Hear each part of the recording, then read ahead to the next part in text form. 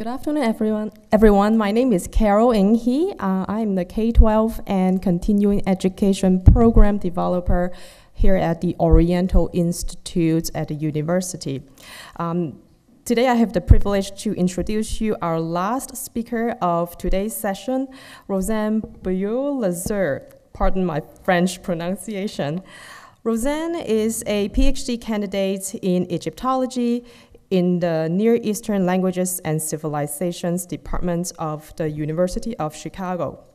She was also guest curator at the Oriental Institute Museum for the special exhibit Between Heaven and Earth Birds in Ancient Egypt, which ran last year um, between 2012 and 2013. After studying chemical engineering in France and completing an MA in Greek and Latin in Vermont, she is now able to combine her passion for birds and her academic interest in ancient Egypt. Her dissertation is entitled The Exploitation of Avian Resources in Ancient Egypt, a Social Economical Study. This summer, Rozenn is also teaching a three-week intensive high school course at the Oriental Institute through the Graham School of Liberal Studies on the topic Ancient Egyptian Language, Culture, and History. Please join me and welcome Rozenn.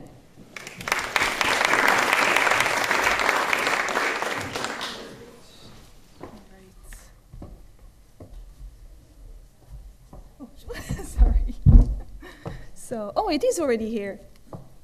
I see. Uh, good afternoon, everyone, and I do want to thank you all for being here and for coming to listen to me today. To listen to me today, and thank you, Andy and Carol, for inviting me. Uh, as Carol just uh, uh, mentioned, I am a PhD candidate here at the university uh, in Egyptology, and my uh, area of research is about birds, as she mentioned as well. Uh, so what we are going to be talking about today is a little bit out of my area of expertise, even though the exploitation of birds is in one way a source of energy as well. but my, my focus is mostly on seeing how the ancient Egyptians were able to take take advantage of the huge resources uh, in birds that were visible every year during migration in the country. Uh, but it was very interesting for me actually to be asked to talk about uh, the energy uh, the way the ancient Egyptians perceived energy or used energy in their in their daily, da daily life. Sorry.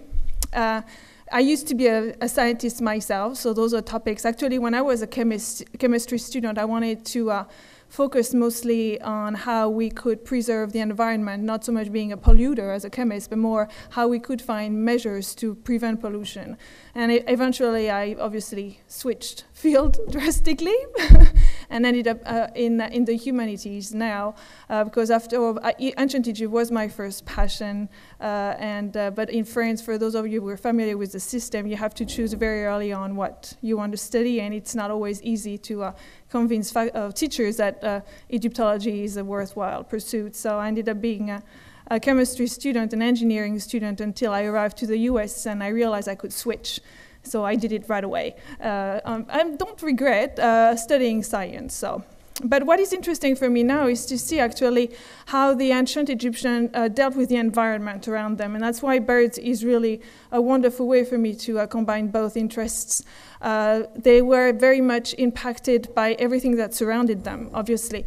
And I wanted to see how we could see it in their uh, art, their literature, and uh, especially because the ancient Egyptian believed that there had to be a certain balance in the universe. Uh, perhaps you're familiar with the concept of ma'at, so everything had to be at a certain uh, under certain balance. And it was the uh, pharaoh's uh, duty, actually, as ruler of the country, to maintain that balance.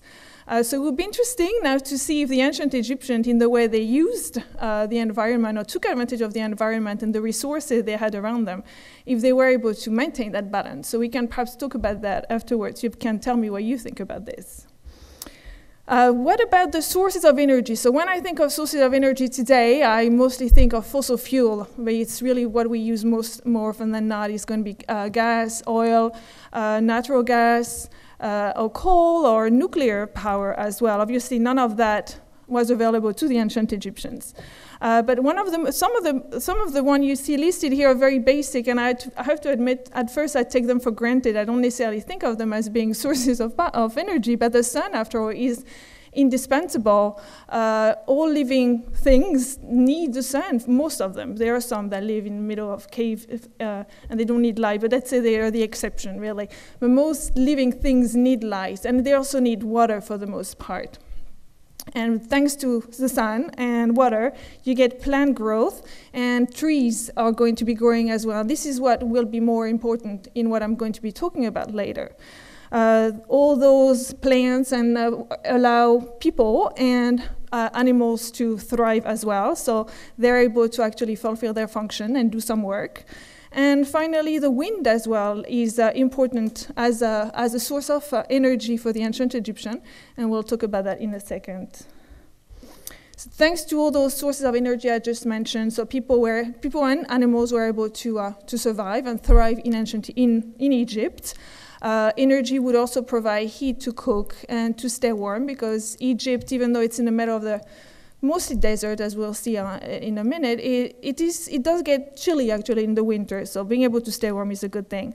Light was also necessary mostly for those who worked, the workers in the mines, or those who were uh, excavating all those tombs for uh, the elite and the, and the pharaohs. They needed to have source, source of light uh, building project. Everybody knows of those wonderful uh, monuments that the ancient Egyptian built. So that was uh, definitely uh, a major, uh, a lot of energy was needed to be able to build all those wonderful temples and pyramids.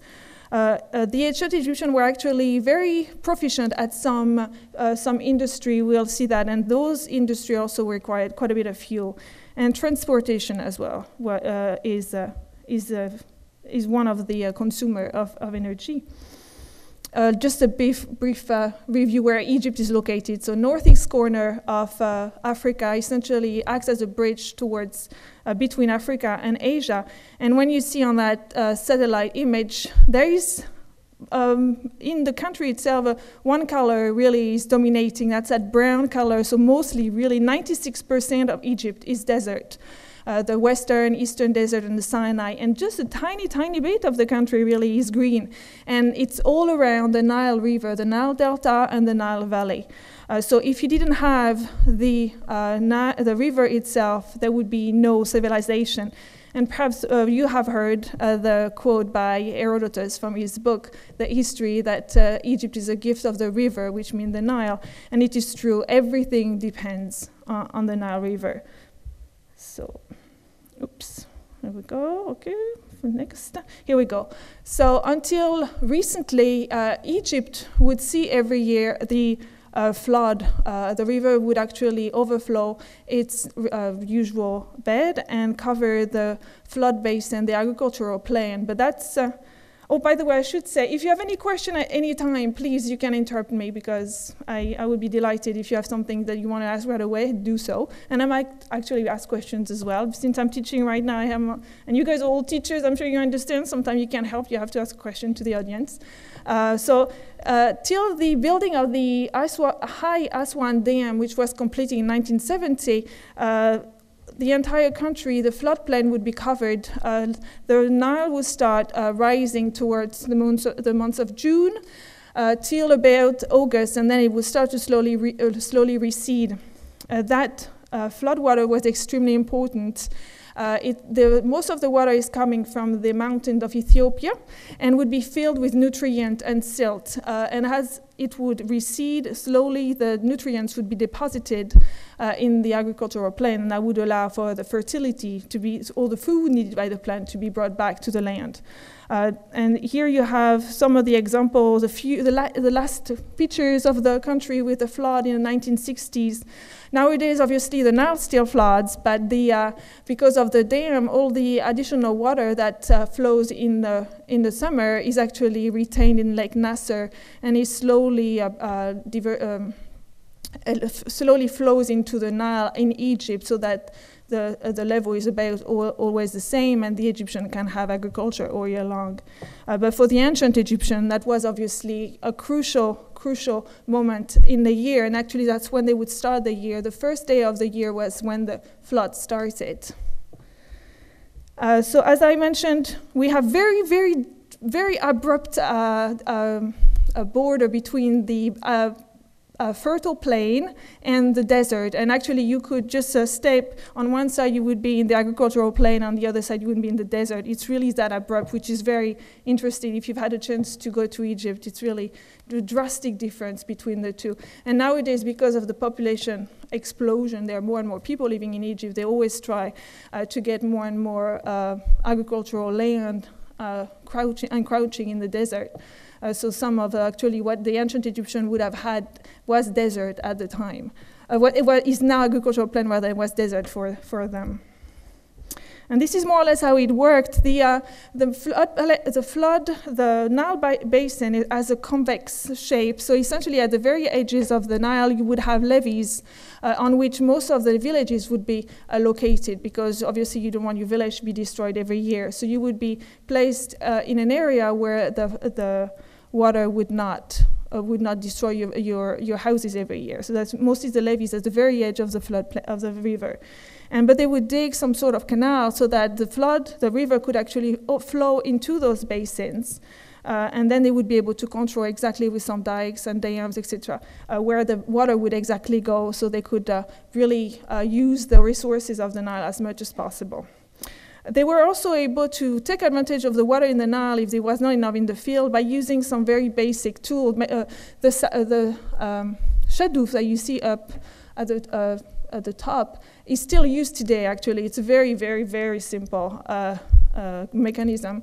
Uh, you have an arm on one side, a bucket that you, you dip into into your, into your water and on the other side a, a, counterweight, and they still use it today. And eventually, uh, we have a presentation of this mechanism starting in the New Kingdom, which is about 1500 BC.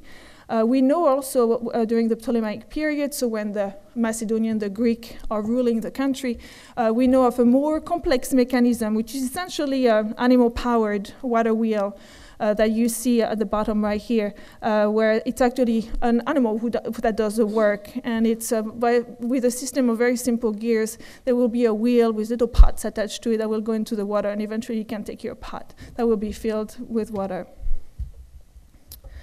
agriculture, that was the main function of most of the people in the, uh, in the countries, was to produce the food that would be, uh, so would be used to feed everybody uh, in the country, in particular those that were not involved in the food production. Uh, when uh, there was enough uh, when there was enough at the when the state was created around 3000 BC and uh, the ruler was able to have full control over the population, so to speak, the whole country. There was a part, uh, there was a portion of the population that was taken aside essentially and specialized into some crafts. Those people not involved in uh, food production had to be fed, uh, so the uh, rest of the population was involved in producing food for everybody, in, in, including those craftsmen, and also they would produce a surplus that was used for trade. Uh, here we have, it, actually the, Egypt, the, Egyptologists are very lucky because we have uh, at our disposal some incredible scenes. The ancient Egyptian, uh, the members of the upper elite would cover the walls of their tombs with uh, multiple scenes, what we call scenes of daily life. Uh, we have to be careful when we uh, look at them because the goal was not to represent exactly daily life, more an ideal situation that you would want to keep as a record for your afterlife. At the same time, it gives you an idea of, uh, gives you a glimpse of what some of the activities of the rest of the population, the farmers, the working community uh, was like. So here we actually have some wonderful examples of the farming, uh, the farmers at work. Uh, you have, let me find, where is my, here it is. Uh, so here, here we have the tomb owner uh, who is supervising some of the activities taking place in his field. So we have people cutting, cutting wheat here, it's winnowing, and here threshing of the grain. And uh, another noble around the same time. So you recognize the style is very similar. Uh, probably the same artist involved in both tombs, but it's the same activities taking place. And uh, Mr. Nakht here is checking things in the shade and sitting while everybody else is working. Uh, so this is just wonderful, wonderful little uh, snapshot of what may have been taking place in, in, uh, in the countryside. I mentioned that wind was, uh, was one of the sources of power, or energy rather, in ancient Egypt. Uh, and it was used mostly for transport because uh, the Nile River, while it was crucial for the water supply for the agricultural uh, community, it was also uh, the main artery for transport. Uh, they would use it uh, mostly there was there was no real incentive to develop a road system all along the Nile Valley when you could just hop on a boat and uh, travel this way. And it was very convenient because what's special about the Nile Valley, the Nile River, is that it flows from the south to the north, which is unusual. Longest river in the world, uh, and it flows from the south to the north. So if you wanted, you lived in Thebes, for example, in Aswan, you need to go to Cairo, oh, not Cairo, because it didn't exist, Memphis uh, you could just hop on a boat. And the, the determinative they would use in the words, or the hieroglyphs they would use to, to indicate that action, did not have its sail deployed, so you see it right here. However, if you wanted to go the other way, you wanted to go from Memphis to Thebes, you would still hop on your boat, but this time you would take advantage of the winds, which are uh, um, blowing from the north to the south, and then you would use your sail. So then that's when the wind was actually very important for travel. So the boats, uh, actually, we see representation of boats from the very, very beginning uh, of Egyptian even prehistory, some of the first representation were actually boats. And it looks as if being able to have a boat was one way for the ancient Egyptian to show their power over the rest of the community. If you have a boat, you can travel, you can go from village one to village B, and you might be able to actually rule a bigger, bigger piece of land. Uh, uh, boats were used to transport not just people, but a lot of goods was transported that way. Even major, major uh, pieces of uh, sculpture. Like here you have a representation at the top of an obelisk. Uh, that's a representation from the temple of Deir el-Bahri by Hatshepsut in Thebes, where she, she's famous for uh, obelisks. And she, here she is so proud of it that she wants uh, to have it recorded on her, on her mortuary temple. So you see it on the top being transported uh, to go to it to wherever final location is going to be.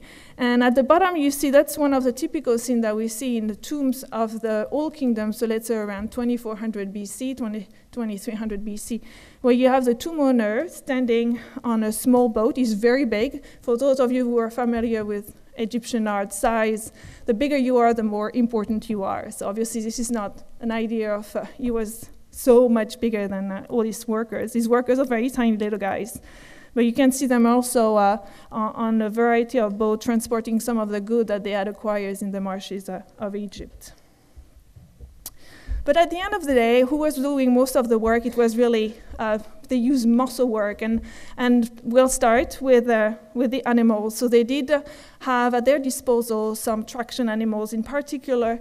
Um, cattle. Cattle, the oxen were actually probably first domesticated in Egypt, in southern, a little bit southern part of uh, Egypt, just a little bit south of Egypt, at Nabta Playa, they have evidence of domesticated cattle already around 8000 BC. But donkeys were brought from the Levant, and so they were, so you can see that at the very bottom, a representation of, once again, farming in the countryside by the, by the Nile by the Nile River, and uh, cattle, cows of different colors and spots that didn't like monotony, the Egyptian artists, so they always added those little touches, which I like very much. Uh, so the cattle is uh, taking care of pulling the plow. Uh, in the other representation from uh, a tomb from about 2,000 years earlier, you see donkeys uh, being used to carry loads, but also to thresh, thre to thresh the, the wheat to separate the grain from, from, the, from the chaff.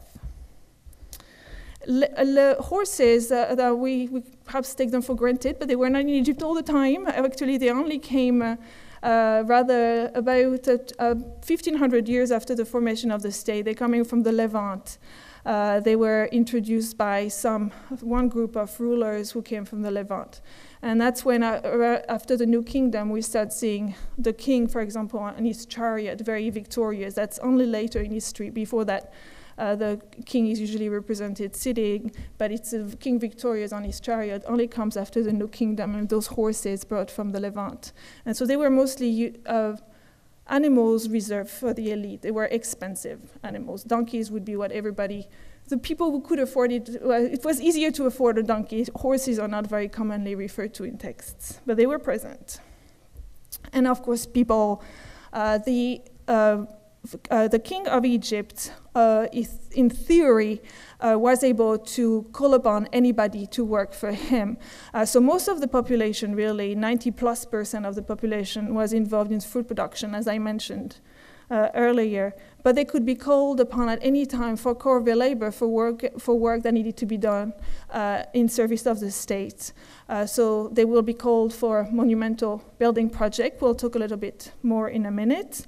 But also all the irrigation canals, uh, the levees that had to be repaired, that was crucial for their own, uh, for, for, for, them, for their own work anyway. So they were definitely in, regularly involved in those uh, mining expedition as well and military campaigns. So I said in theory everybody could be called, but there were exemptions. So if you worked in a temple, uh, you, you probably will not have to do that type of work. Or also if you're rich enough, you can always have somebody else do the work for you.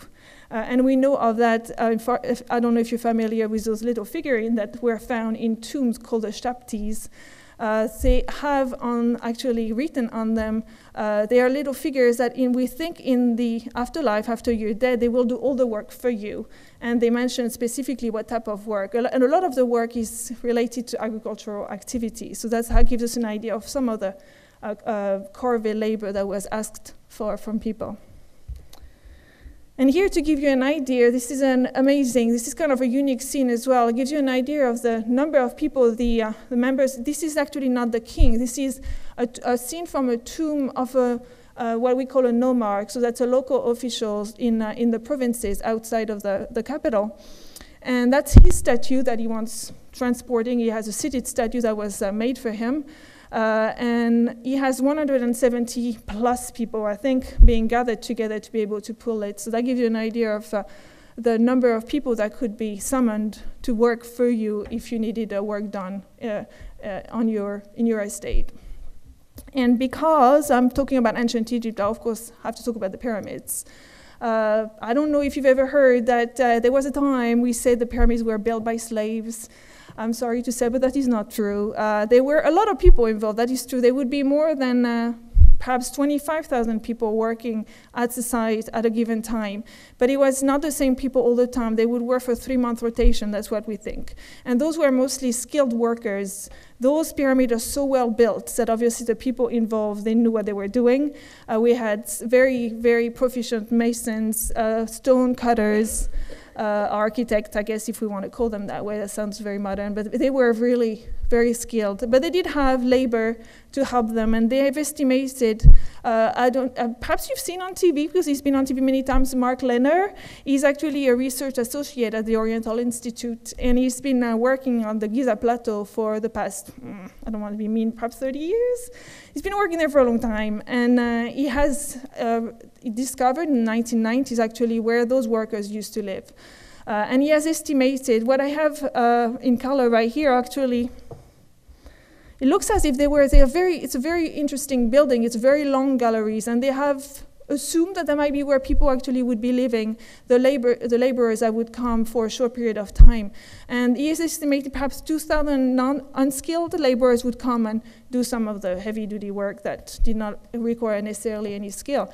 And in those buildings, so that's how they might be sleeping, uh, so very crowded, uh, not necessarily the best uh, living condition. But when you were working for the state, you would get free food and free lodging, so you take what you can, I guess. You're not being picky. Uh, but 40 to 50 people could be living in those. And especially during the flood, the agricultural community couldn't work. So that was one way for them to use their time, so to speak, is to do some, to work on those monumental projects. I also mentioned mining expeditions. Even though we know that later on those would be reserved, essentially those jobs would be reserved for the uh, criminals and the prisoners because the conditions were really, really difficult. But what is wonderful about Egypt, once again, uh, the climate might be very, uh, it's very dry, it's a hyper-arid climate, and we have a lot of organic material that has survived, in particular a lot of papyri. And you don't see perhaps too well here, take my word for it, this is actually a map, one of the oldest uh, uh, topographical map. Uh, it's a map of the Eastern Desert, uh, of the gold mines of a region called uh, Wadi Hammamat uh, in the Eastern Desert. It's an area that uh, connects the uh, Nile Valley around the Coptos to go toward the Red Sea.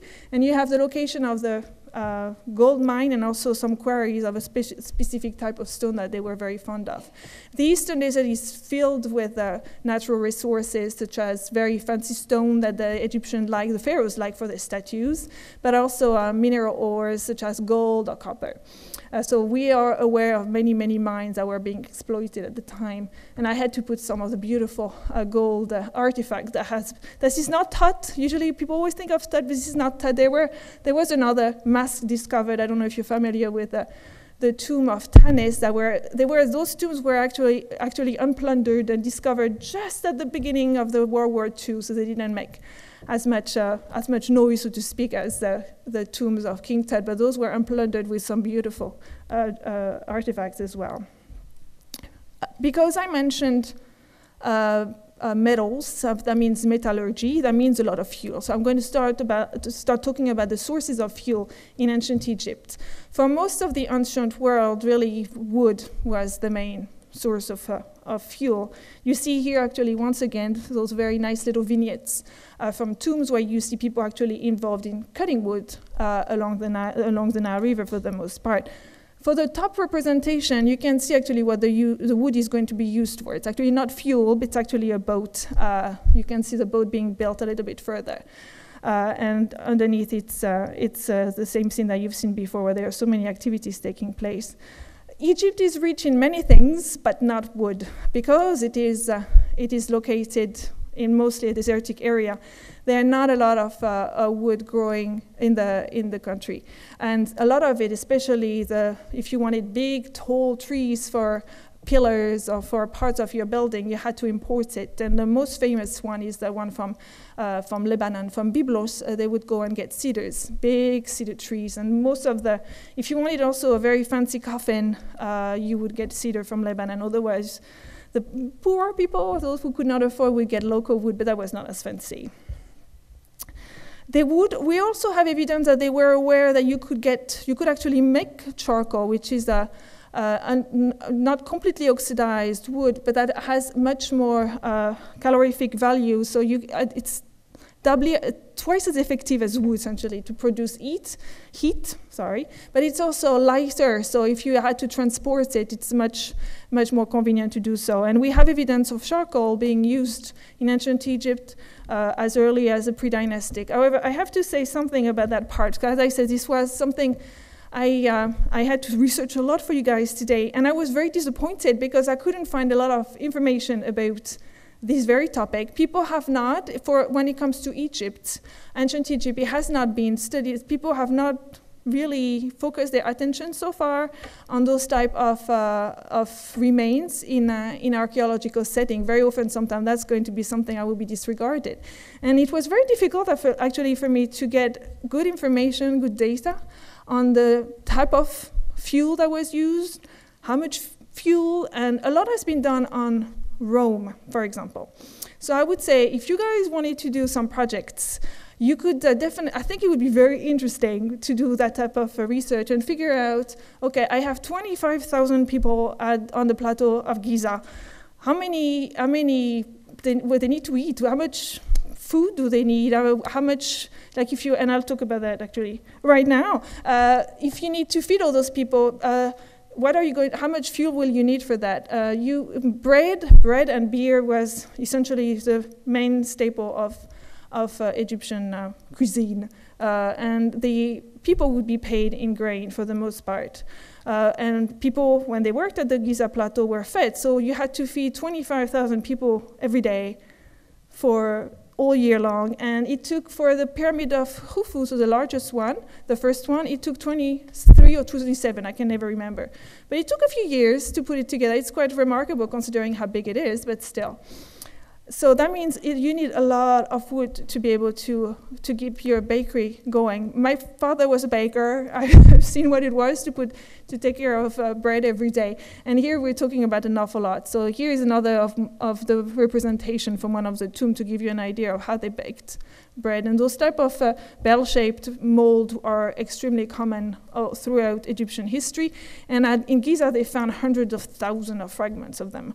Uh, they also uncovered one of these industrial, industrial bakeries where they found lots of ashes. But once again, I didn't get any more information about it. It looks as if the wood was coming from nearby. So, so when they, uh, in um, some areas, they have actually studied qualitatively the wood.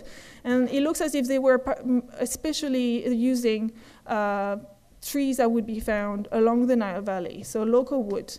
Uh, I don't, I couldn't find information about the way how they make charcoal. It's still a process that has not been studied for Egypt. The picture I show you is what they, how they do it today. Uh, but uh, when it came to the ancient times, I'm not exactly sure. But here they tried to reproduce some of the baking processes, and they were using charcoal for their experiment. Another case study where they, that, where they only qualitatively studied the charcoal, not quantitatively. The Ramesseum is also a very interesting location. Uh, during the New Kingdom, so uh, Ramesseum is a mortuary temple of uh, Ramses II, Ramses the Great, so around, let's say, 20, 1250 uh, BC. Uh, his mortuary temple is not just a temple, but it's also surrounded by huge uh, magazines that would be filled with grain and all sorts of, mostly grain in particular, that would be used to actually feed uh, the workers, all the people working uh, in, in the region. Um, and actually, we have uh, from that period, a little bit later, some of the first strike papyri as well, because they were, the workers were not being paid. So they went to the to the Ramesseum and complain and say, give me my food. Uh, so what, that's why you see those long rooms that, that were, would have been filled with, uh, with grain and other goods. So the, the archaeologists were able to gather some fragment of charcoal, uh, and they identify, as I wrote here, nine type of trees, but most of them are actually local trees growing along the Nile Valley. So it looks as if they were gathering their fuel uh, close by. Uh, it's also possible that the charcoal itself was produced close by, but it's not been studied yet. Metallurgy, if kitchen and bakeries were using a lot of fuel, it's nothing in comparison with metallurgy. So we, I mentioned earlier years that there were quite a few uh, uh, mines, a lot of mines actually, uh, 90 plus just for gold in the eastern desert, but there was also copper, silver, just a tiny bit of iron. Iron was not very much used in ancient Egypt, but it, it, might have been in some other part of the Near East. Copper and gold were, and bronze eventually when tin was, uh, was brought into the picture. Uh, bronze, where the metals are used, they use more often than not. But the Sinai was also a rich area in copper, and the Sinai was, has been exploited even pre-Egyptian uh, states, so pr during the pre-dynastic period, let's say 3500 BC, the uh, the people living in the Nile Valley were actually traveling already to the Sinai to, to, uh, to work the, the copper mine. And recently, uh, a French team, actually led by uh, Professor Pierre Tallet, has been uh, has discovered the uh, uh, mines in all the smelting areas of in that part in that region of of the Sinai that you see as Serabit El Khadim, that's indicated on the map.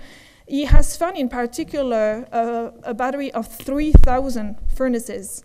Uh, so theoretically, all those furnaces would have been working at the same time smelting copper, uh, copper ores. Uh, so where does the wood come from? Because when I show you the pictures where this is located, rather, rather uh, desertic, not much vegetation. So I con actually contacted Professor Tallet because that bothered me. I said, where did they get all their wood, all their fuel?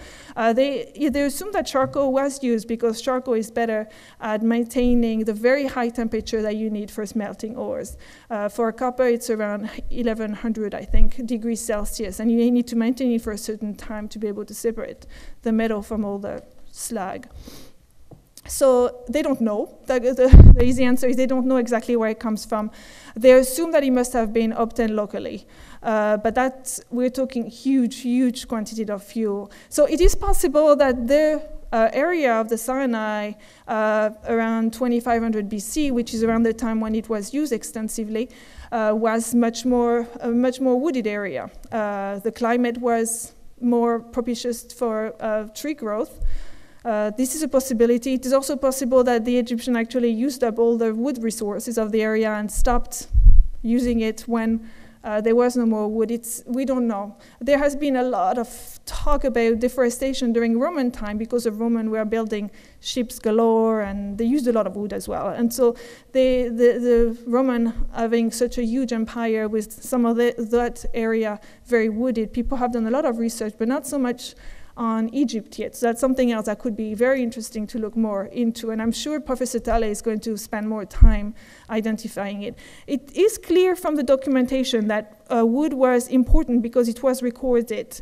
Uh, we do know uh, that, for example, at the for those of you who are familiar with uh, uh, Thebes and the uh, village of Deir Medina, where all the people building the tombs for the kings were housed, uh, we have actually documents saying how much wood was being brought to them for fuel specifically, not just wood for building whatever or making something, but for fuel. So it is definitely uh, commodity that was taken very seriously and that they kept, they kept their eye on. Uh, we also know that temples uh, where, where they were making sure to to grow a lot of trees, so they would have special garden. The way it's represented, you can see they're bringing dirt essentially uh, from the Nile Valley to be able to grow the trees because temples are mostly built in the dry in the desert. So they're trying, they're trying hard to build the, to have trees, but it seems to be that it's still something that they don't have very much of. Fuel were also needed because they were very good at making beautiful pottery. I'm very fond, as you can see. Everything at uh, uh, Egyptian craftsmen were really uh, talented. Pottery and faience and also glass. Uh, this all come from the New Kingdom, the reign of Amenhotep III. He was the best when it comes to uh, minor arts. Uh, he lived during a very prosperous time and he really dedicated all the resources that he got from the entire empire of Egypt to making beautiful things. So it's quite remarkable. The glass especially is quite something. But that also needed, they also needed a lot of fuel for that. So lots of trees had to be cut, and I'm not sure where they come from. So I'm, I'm making a huge leap in time now. uh, I'm talking about something that's completely new that you don't see before at all. Uh, those type of public facility uh, where the Romans were very fond of bath. The, and when they settled in Egypt, they brought those facilities with them. Um, we, uh, we know that they were actually mostly what we have documents for, especially they have found a, a large collection of texts from the Theban region. Uh, we, we know that they were for the soldiers, they were quite large garrison, uh, large Roman camps in, uh, in Egypt. Uh, during the Roman period, no more pharaohs in Egypt. You still had them during the Greek, uh, the Ptolemaic period, but not for the Romans because Egypt at that point is only a province. It's not it's not uh, ruled by a Roman pharaoh like you would have before with the Ptolemies. So they would be uh, garrisons, Roman soldiers being sent there, and they would want their bath as well. So we have found actually remains of uh, bathhouses all along the Nile Valley, but also in fortresses that would have been built in the desert. So for the, uh, we also have record of the type of fuel because they recorded that as well. And we know that mostly what they used was uh, straw at that point. They talk about straw. And it's also specific straw. It's straw for the bath. So whatever they use, I guess straw could also be used to for the animals, but they were, the garrison were being delivered special straw that would be used to, uh, to heat up the bath. So those baths are special in that they use a hypocaust, I'm not sure how you pronounced it, hypocaust uh, system, which is a, a, a system that uh, you have a furnace that you heat up with tons of fuel, and then that warms up the air. That will make your nice bath nice and warm. Uh, and also, some eventually there was a new um, innovation. They also made holes in the walls so that the warm air could also go up the wall, so your, your room were really nice and pleasant for you to be if you're having your bath. Uh, so we know they use straw. Uh, for the uh, uh, fortresses that were in the desert where they might not have been so much supplies, we know they used animal dung from their donkeys, from their horses, from their camels, whatever animals, they would dry it and then eventually use it as fuel. Uh, so they took whatever they had at their disposal at that point. But what about, so I'm now I'm also jumping topic a little bit, but uh, about the Industrial Revolution because that changed the world uh, at the, uh, in the 18th century uh, in England uh, with the arrival of the steam, the steam engine. And well, you'll be surprised to hear that that concept actually had already been thought about by the uh, Greek uh, scholars during the Hellenistic period, uh, we do have the record from a gentleman called Hero of Alexandria living during the second century AD. Uh, no, second half of the first century CE, so actually not during the beginning of the Roman, the Roman Empire. Uh, Alexandria was essentially the center for science or knowledge at the time with the big, uh, the museum, the big library. Uh, a lot of uh, uh, scholars would actually go there. There was, at the time, really an interest in science for the sake of science, so pure knowledge, theoretical knowledge, which was not the case for the Egyptian.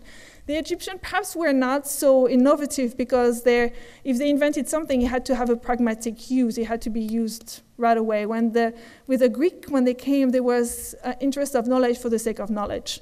Uh, so apparently, those gentlemen were studying the movement of air, compression. They thought about the, the use of the, um, I cannot find the way, the, uh, the when you push, um, ah, Anyway, that's okay. But he also thought about in the pneumatica, so it's all about air, the movement of air and compressed air, that if you were to heat up air, eventually in a machine that was closed, uh, if I understand how that machine works, so you heat up some water, eventually you get steam. The steam goes through those two two rods here, goes into the bowl, and because the power of the steam will make the ball rotate. That was the idea. So essentially, he had thought about the fact that steam had some sort of energy that you could use uh, in a machine. However, that was not exploited more than that. That was just a thought, actually. And people nowadays, researchers are wondering, why didn't they go any further? Because they devised tons of new uh, machines and uh, technology. Why didn't they use the steam engine any further, and why did we have to wait until the 18th century England for it to actually be fully exploited? So that could be something to think about as well, because uh, according to that article, you needed more than just the idea of the steam engine for it to go further. But that could be something of interest, I think, for students. And I'm going to stop. That, that was a very quick, obviously, presentation of uh, energy and fuel in ancient Egypt. But uh, it is interesting for me, when I as soon as I started, because I'm so interested in the environment, it is clear that as soon as the Egyptians settled along the Nile Valley, they right away changed the landscape. Because as soon as they settled, agriculture was developed, they changed the, the floodplain uh, to make it uh, to turn it into wheat fields. Uh, they had grazing animals, obviously they modified their environment. Obviously, it was slow pace at the beginning. As population grew, the floodplain, the wild floodplain, would disappear, would get smaller and smaller, and uh, so. But it was still a very slow process, not like today where things are going very fast in Egypt. Uh, but they were very much reliant on their on their environment entirely for their survival, especially when you think about it, all they have is the Nile Valley. Everything else is more or less, it's not devoid of life, but there are not a lot that they can do with for survival. Uh, so they were mostly self-sufficient, except for the wood, really, that they had to go elsewhere. But I didn't mention it before because that could be a topic all in itself. Religion in ancient Egypt is also um, aspect of daily life, everything has a religious aspect to it. It's part of everything they do. And because it was so crucial to their life, those important uh, natural resources and natural elements around them were actually deified. I'm sure you all know the sun god Re, uh, but you also have the god of the Nile River, the god Hapi, which is right here oops, right here, that's Hapi, the god of, of, the river Nile, that was very much worshipped as well because they wanted to make sure that he was going to give a good flood every year. And that was actually the job of Pharaoh to make sure that as a good Pharaoh, he should have made sure that the flood was good. And if the flood was not good, usually that was bad for Pharaoh. Pharaoh would get in trouble, so to speak. Uh, and also the tree goddess was crucial for them too. So we see her represented very much later in Egyptian uh, Egyptian art, but she's part of the scene, of the scenes in the tomb where she's feeding people. Uh, so I'm just wondering, do you think that's for you to open the question because I don't necessarily have an answer, but do you think that because they had such religious uh, such a religious connection with the environment, do you think that they were more respectful of it? Uh, can we talk about sustainability, which is a big a buzzword today, uh, sustainability. Do you think they were sustainable? They were thinking about how to preserve the environment for their own survival. Uh, those are the type of questions that are, I think, very interesting and definitely worth discussing. uh, but uh, I don't necessarily expect an answer right now, but perhaps something to think about. Uh, and I thank you very much.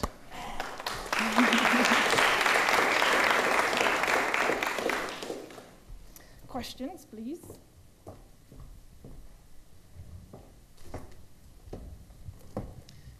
Thank you. That was really, really fascinating. Oh, um, thank but you. But I, I, also just wanted to ask kind of a couple of mundane questions. And one was Please.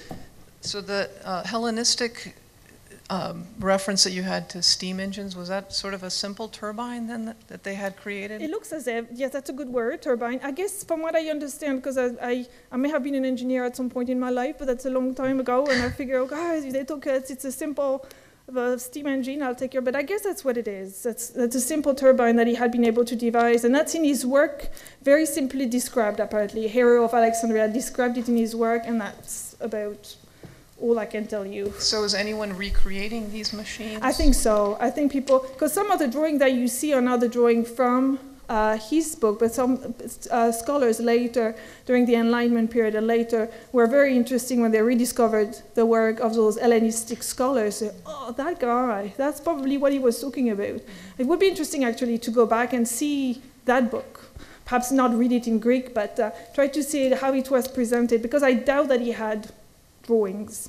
But I don't know, I have not looked at it personally. And then the second yes. question was um, how do you actually make charcoal now that they might be modeling how they made it then? Is it just burning the? So uh, there are, from what I understand, because there are a bunch of ways to make charcoal.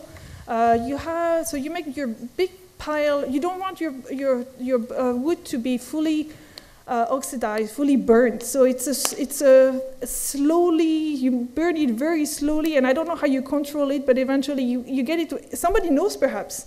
Somebody in the audience might know how to make charcoal. I wouldn't. Oh, okay. That could be, because that's a very good question. I need to look more into it. I, I did not study more, the because some people, like in England, there, is, there was a lot in the documentation of, oh, yes? Well, it's a fascinating process. and it was, it was one of our leading energy sources in our early history, certainly exactly. in the United States. But you, basically, you take greener wood works better, and you pile it all up, and then you cover it with, um, with duff yeah, with Yeah, dirt. yeah. And then you very slowly let it burn, but it takes weeks, it- you know, maybe a couple weeks for a big mound of it. So colliers, that the word a collie dog was originally part of the collier's dog. Anyway, a collier is a person who does this. So, yeah, it's, it's yeah, it's very interesting. Well, How do you know when it's finished? Uh, you ask the dog. I don't know. I don't know. I apologize because I guess I should know. but this is something I, I will have to look more into myself because this is interesting. Uh, I, I'm curious myself. I would see those big, huge piles. So, yeah, they would uh, they would smoke a little bit. Yeah. Oh, yeah. Exactly. That's what it is. Yeah. It's it's. That's true. There you go. Any other question? Yeah, you did have that. You, you were showing the dikes and all that. Yep. So with uh, the irrigation dikes and uh, what they did with uh, to to control the floodplain, uh, how did they handle the siltation uh, problems? I mean, the, the buildup of silt. Would they have to like take that and spread it about, or? or? I, th- I think from what I I don't I think that's what they wanted. They wanted the silt because of apparently the silt. They called the Egypt the Naval the black land, the Kemet, the black land. So I think this was just very rich nutrient, filled with nutrient, and not just clay or something that you would want to get rid of. Uh, it looks like it, it would actually be in the ditches. You'd have to get it out of the ditches and spread it about. Did they? Well, the, they would have to clean them up. So that was part of the those core of the labor. But the one that would be you talking about the one in the in, uh, in the canals in particular, or uh, the one that would be in the fields. Well, uh, because it would be everywhere, I guess. Because you're right, in the canals, we do have documentation that they would regularly have to clean them up because they would okay. be. You're right. They would be. They would eventually get filled. Uh, if they wanted the water to be spread evenly, they would have to clean them up regularly. And it's something you still have to do today uh, for their irrigation. In the field, were you wondering about the, what, how it was in the field as well? Well, I would assume it'd be a similar process because It was just cases very you're getting- slowly, uh, from what I understand, because I, that's what I, I regret the most. I think is to not have witnessed the flood. uh it's been an, obviously long. I was not born yet when that was uh, that ended, and um, I just would have liked to see actually how the fields were right afterwards, right after, because it, it would stay stagnant uh, for a little while before it would recede very slowly. So everything at the time to very slowly deposit. And you would not have problem of salinization in Egypt like you might have in some other areas because even though it's very dry, uh, it would not evaporate very quickly. So whatever minerals you might have in the, in the water would not have the time to just get that become a crust or whatever on top of the of the land, which is a problem now actually that they didn't used to have because before all those minerals, the water being on the field for so long would just get into the get into the ground and would not just stay on the surface. But, but a lot of what we know about all those have disappeared, all the canal, the ancient canal, the ancient uh, ditches that they would have built has obviously disappeared because all the available land has been reclaimed and more now. So it's a lot of hypothetical uh, work that has been done by people who are specialized really on water was a big deal. Actually, there were water rights uh, also that people talk about in some documents. I'm not sure exactly, like some temples would have access to water, which I don't understand, or would have the right for water. Uh, and also, what was interesting is every single year they would have to remeasure fields because everything would disappear essentially during the flood. So you have a presentation of somebody uh, going and measuring field to, to reclaim the boundaries every single year. So, uh, so that's the type of thing we rely on the representation. We have tidbits from the from the texts, but the whole process is a lot of recreation. What we think would work also based on what we might have seen earlier on on ethnographic work. Uh, is it exactly what took place in Egypt? I'm not sure. But we do know they would have to go and dry, uh, dredge, is that the word? Dredge the canals and the ditches because the silt, as, you, as you're very correct, would accumulate. Any other questions? Uh, I have a right. question for you, and I wanted to take your bait uh, on the sustainability issue. So I'm somewhat embarrassed to say, despite being taught this in grade school, I was probably at least 30 years old when I first realized how profound a technology flour and grain was. That is, flour allowed the storage of food across time and space. You could eat in winter, uh, you could pack it on a beast of burden and travel far distances and still be able to bake bread.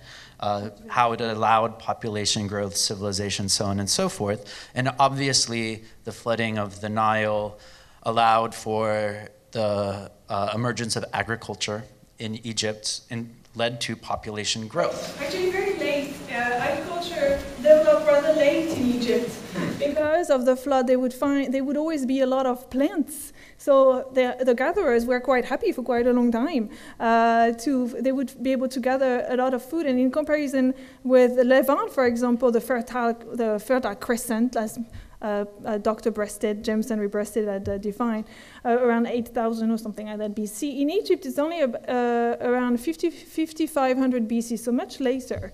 So they did, because it was such a, I guess, rich area, why? Because, and I'm sure you've heard that, uh, rich area when it comes to uh, wild plants, it would be refill, refreshed every, every year.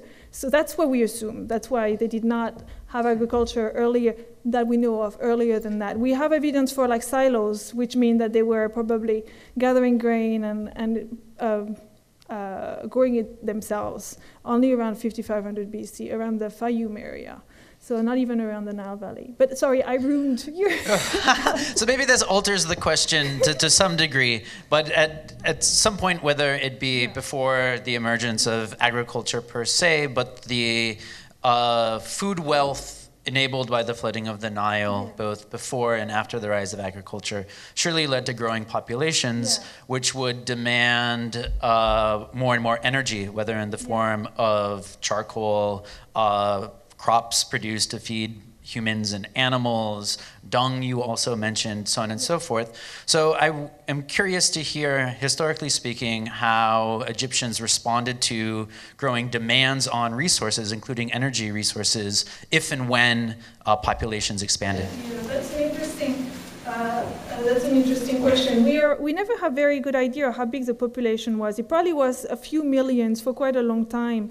Uh, but it's, it's clear, though, that as, uh, as the population grew, there was still enough What's, what's interesting and what's hard to conceive now that now every, every little parcel of land is used. They have to find more.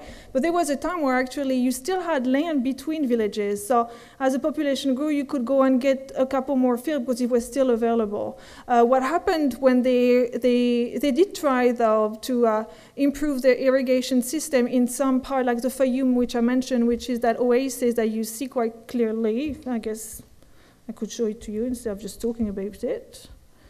Mm.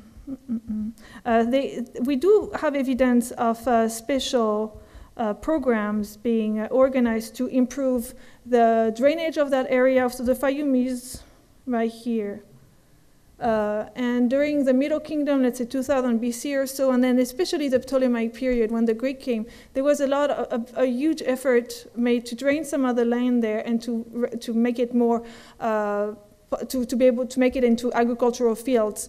So there was definitely, an, it was obvious that there was a need for more land, but it was not as drastic as it is today. When it comes to fuel, uh, I think that's something I, I, have not looked so much into it, and I don't think people have either. We, we need more PhD students, I guess, to, fo to focus on the question, which is I mean, the good news. So for those of you who have students saying, "Oh, I would love to do Egyptology," perhaps it's a good idea because there are questions that are unanswered. Um, I couldn't find a lot of information about it, so I would say they probably had to make use of what they had. So I think I didn't see it. Some of the basic stuff, probably a lot of the straw was used for fuel as well. Uh, it's obviously not mentioned because this was just everyday stuff.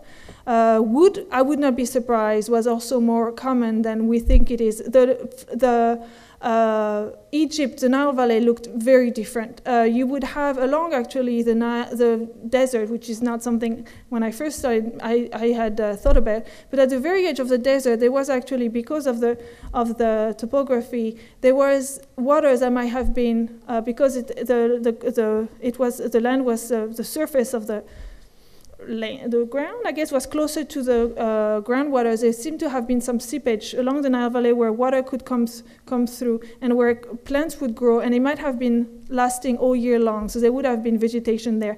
When, on the other hand, all along the Nile, you would not have trees. It would be covered by, by the flood every year, so you would not have enough time uh, for, for trees to grow. It would have looked very, very different from now. There's lots of, of plants along the Nile now, but that would not have been able to grow. That would have been more sandy, sandy uh, uh, uh shores. So I think they might have been. Were, was it growing fast enough for it to be replenished? Did they use everything they had at disposal? For fuel, I cannot help but be wondering because I don't see them importing just timber for for fuel. But I, we also know that they didn't waste it because there, as I mentioned earlier, a lot of organic material have survived. Uh, boats, in particular, have actually uh, been uh, discovered, um, remnants of boats, and boats were usually made in pieces, so you would, uh, they, they would dismantle them. We have found them actually in several places in pieces. They would dismantle them uh, and just keep them in storage, essentially, and then put it back together when they needed it. And uh, we know that they reused a lot of the wood, so they would, uh, even though it might have been damaged a little bit, but they would do whatever, put some sort of repairs on it, so they didn't waste wood at all. Uh, but at the same time, they used a lot, so I don't have, I don't, I'm sorry, I'm talking a lot, but I'm not really answering anything. so I'm not exactly sure, uh, because in, in, a, in, an article I read, it is true that the idea of, of uh, to be able to uh, to, to be aware uh, that the resources will not last forever. It's actually something that's a very new thought. People would say like, just a passenger pigeon, pigeon or whatever. They were billions, so let's just shoot galore. And eventually you reach an end where there are no more. And I think it's rather new for us to think, okay, if I use so much of it, eventually we'll not have a chance to reproduce or it will not be able to be replenished. Uh, and there has been plenty of examples of people using their resources to the extreme. So I think I would, I would be curious to know uh, the farming community knew their surrounding very well, but did they think of it that way, or did just think yearly, like, oh, I knew my grandfather this or that? I, I, that's something I, I, I take for granted sometimes because I happen to be at a university and I hear all those wonderful topics, but I am not exactly sure. People who live closer to the land. Actually, I'm coming from the countryside in, in Brittany, and it's always interesting for me to see that people are not necessarily that knowledgeable about their environment. Uh, I'm a bird person, obviously, and I'm always curious. People don't know their birds, people don't know their plants, and I think, oh, but you guys work with your, you don't. It's not what they're interested, what important for them at that point is producing whatever. Doesn't mean they're not interested, but they don't have the time perhaps to focus on it, or I'm not sure. You wanted to say something? Yeah. Well, making the connection of birds and the trees, birds and the trees. So if you studied birds, are these prairie birds or do they need trees to live? That's a very good question. Actually, Egypt is very interesting when it comes to the bird population. Uh, being located, it's located on a migration flyway, so a lot of the birds, there are very few uh, uh, indigenous uh, birds that are specifically living all year long in Egypt. Uh, a lot of the birds that you will see are actually migratory birds, or they will come for the winter and take advantage perhaps of the wetlands, especially the delta. Uh, some of the birds are desert birds, actually. You don't think all the time that, uh, that there is actually a lot of wildlife in the desert. They're just very much adapted and they hide very well, so we don't see them necessarily. But there is quite a bit of wildlife. Some of the birds are specialized for living in the desert. Uh, we do have birds that are uh, also found in, there's a lot of songbirds as well living in the Nile Valley uh, and water birds as well, because you have the, the river. So that's mostly what you have. There is an area in the southern part which is interesting. The ostrich used to live, roam, uh, uh, the, which is also a savanna type bird, rather, but there used to be much more vegetation pre essentially the emergence of the of the, the Egyptian state, but they still wandered around, and we have evidence of them being around. But they still exist in Egypt. There is a location in the southeast corner, actually, of Egypt, near the border with Sudan, that has essentially a microclimate where you can still see ostriches supposedly in that area. Uh, but for the most part, uh, there is about 150 species that are indigenous to Egypt, and uh, all 300 others are just coming through uh, so not so. It's mostly songbirds, little uh, little creatures that you will find in the uh, the uh, uh, the rushes, the, the reeds, and water birds. But so not so much. And birds of prey. But birds of prey are adaptable. They there's some of them are yeah. And now the, the thing is, Egypt of today is very new birds are here now. Actually, if you get a chance to check the catalog of my exhibit, there is an article that's very interesting in the catalog about how the avifauna has changed since the flood. Uh, the flood ended, and some species actually from Europe are now settling down when before they might stop by, and birds from also further south are coming up. Uh, so birds are adjusting differently. Some birds that the Egyptian would see everywhere, we don't see them uh, anymore. They're just further south. So uh, big switches. The, the birds are adjusting good way, bad way, it's always difficult to see depending on which bird you like or don't like. Because some people say, oh, I really like, I'm very happy that bird is here. Some others would say, why is that dawn bird here? So, any other questions?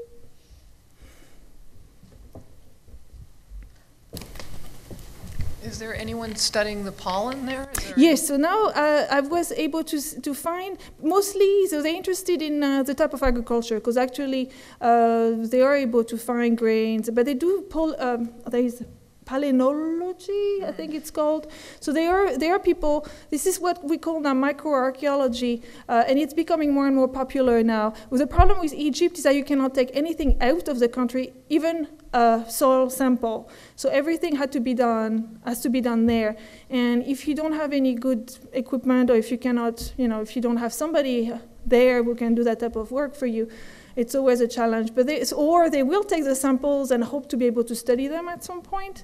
But it is becoming more popular just to identify. So they are able to identify which type of trees, for example, were used for fuels. It's always unclear if it was wood that was used or charcoal, because I'm not sure how you identify.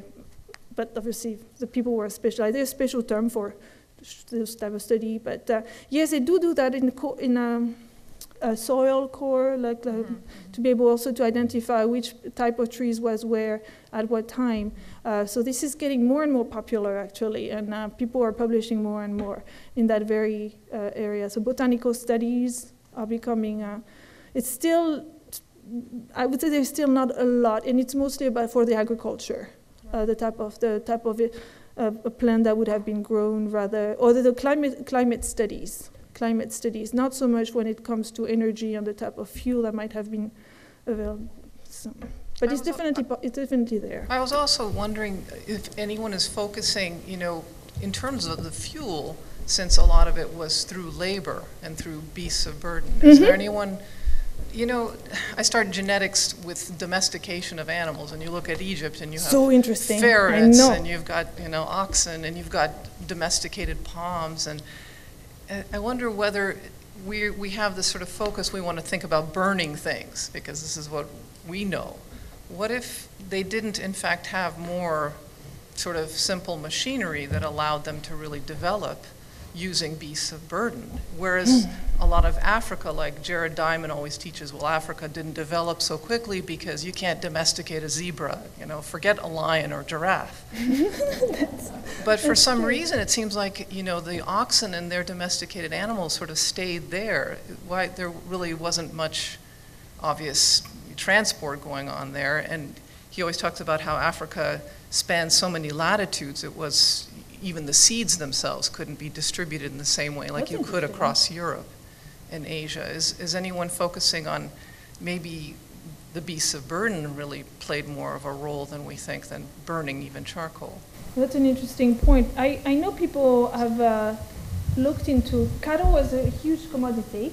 Uh, people uh, they call their animals by name. So we have records of uh, some cows being called ruru being sold, and they tell you what color.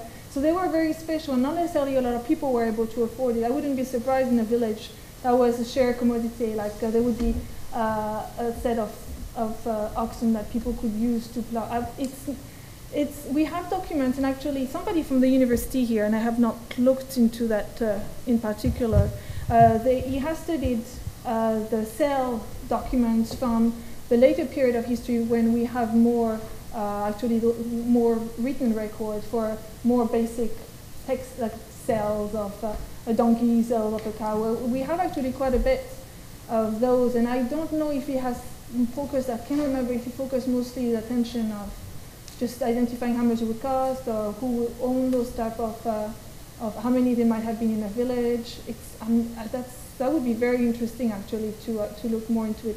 We do have enough document on donkeys and, and cattle to, that they were definitely very important uh, animals that were valued because of the work that they provided in the community. Um, but uh, oh, this that it has brought a lot. Of, it has really been fascinating for me to focus a little bit more on that aspect of ancient Egypt, and I was just uh, frustrated when I was doing my research to see that there are all those wonderful questions that you guys ask. People are not necessarily interested in that so much, uh, and it, it will need to be addressed at some point because you're right. Domestication in Egypt is very interesting. Cattle might have been domesticated locally as well, while the other the bird, the goose, it's important. The goose was domesticated in Egypt. Uh, so what you see in your in your farmyard nowadays might have started in Egypt, but the donkeys and all those animals came from the Levant. So the sheep, the goat. Uh, so they had all those as well, but they used sheep mostly for. Uh, they didn't use wool, so that was mostly for. Actually, I'm not even sure because we don't hear a lot. I guess food, most just food, and goats as well that they used uh, for uh, cleaning up.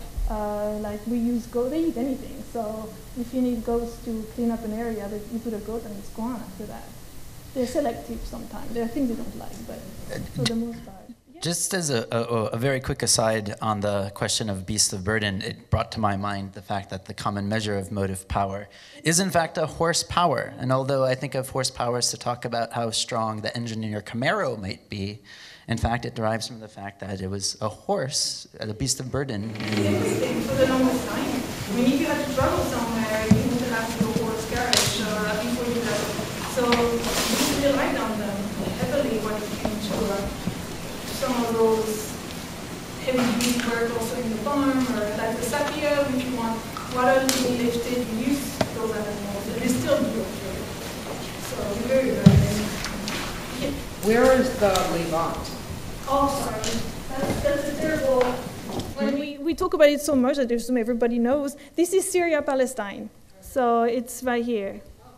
Sorry about that. I, I, typical, when we talk about it all the time, it's just, well, it must be, I don't know, well known, well known fact. So, sorry. Uh, any other question? I apologize because I realize there are a lot of questions I cannot answer. Uh, they just uh, see it's just type of question that you need to talk about with your student. Perhaps if they everybody studies a little bit of something, you'll get to a good answer at the end. Uh, you wanted to ask something? Yeah, I just had a question. You mentioned dung really briefly, and I was just curious if if you knew it dung. And I was just yes. curious if you knew if that was something that was um, like local to households. Was it being used for cooking? Was it produced? I think they would they would use it for like in the house as well for uh, for they would the houses in uh, in ancient Egypt were very interesting because like even when I was growing up I remember some of the farms everybody was living together the cows were not very much you could see the cows next next, next to you there was no real division so it was the same for some of the houses in uh, I remember some of the houses in Elephantine uh, which is an island uh, in the southern part of Egypt where it looks as if all the animals had to go through the living quarters to get to their to the stable. So uh, I wouldn't be surprised if they, they would gather all those good things and uh, just eventually put them to dry and use that as cooking fuel at home. I, I, we, it's still work in progress. We have not found a lot of settlements, unfortunately. A lot of what we know of ancient Egypt is those wonderful monuments in stone, but that's temples and, and tombs for the most part. The settlements were built along the Nile Valley, as I showed you, and would have been, are underneath cities or places uh, where people live today, uh, or have been washed out by the flood. So we do not have a lot of settlement archaeology, and it's always the same. When in uh, people are selective, I, I'm very interested in. Um, uh, bones, for example, of animals that people would be consuming. So they usually will keep bones for big mammals, like if you eat beef or if you eat sheep, but not birds. So it's very hard actually for me to figure out what type of birds people would consume. And I think it would be the same when it comes to the ashes that were recovered, because we do find they do find ashes in some areas, and you say, oh yeah, this, there are ashes there, so that's where they were baking their bread but they don't necessarily take samples. So it's not always very clear to know what was used. But we know, for example, that they did use dung for some of the kitchens in, uh, or from the bath because they did studies of the remains of ashes and they say, ooh, that's probably something that uh, was actually fo- uh, uh, veggies that had been consumed at some point. So that must have been, they must have used dung. Uh, but still work in progress again. But I wouldn't be surprised they used it more than we think because they had all those uh, ungulate, those vegetarian, uh, how do you call those type of animals? Um, uh, herbivores, thank you, roaming around, uh, you know, domesticated. So why not take advantage of those resources if you don't have a lot of wood close by? So I would, I would not be surprised. And don't they still do that in Egypt today anyway? Oh, in, in Africa, I think they use a lot of that today. So, sorry. Time to go, perhaps? Uh, yes, but let us first thank uh, Rozenn Bailleul-LeSuer for this great presentation. Thank you.